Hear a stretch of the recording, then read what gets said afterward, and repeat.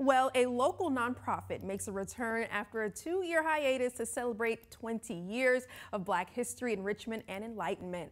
Rosie's International Service hosted the event at Trinity United Methodist Church right here in Huntsville. It's a nonprofit that works to educate the community about different cultures. People were there to enjoy food, performers, and learn about Black history. And of course, Fox 54 rolled in deep. Naomi Gray and myself served as MCs there too.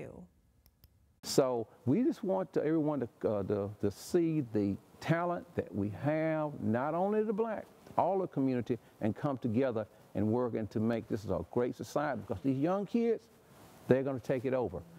Indeed, definitely coming together. And to learn more about Rosie's International Service, visit our website at fox54.com.